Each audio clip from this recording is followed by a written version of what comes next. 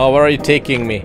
Coldwind Farm. I can't stalk on Coldwind Farm. What the fuck, guys? Alright. I think this, this needs a flute.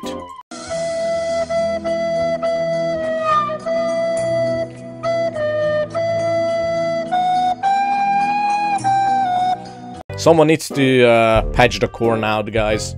I mean, there are fucking harvesters, like, all around the estate. Can't they not fucking just mow the corn down once in Michael's fucking life? Because that would be amazing. Sorry, mate.